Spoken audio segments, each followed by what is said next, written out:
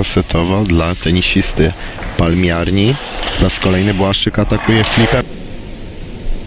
No i zobaczymy na jakie rozwiązanie serwisowe zdecyduje się Błaszczyk.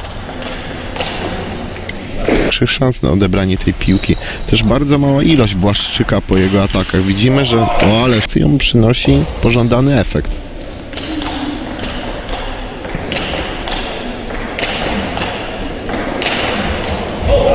Kolejna wspaniała. Ze stołu, tak żeby nie dać swojemu przeciwnikowi zbyt dużo czasu na zebranie się do kolejnej obrony. I bardzo szybki.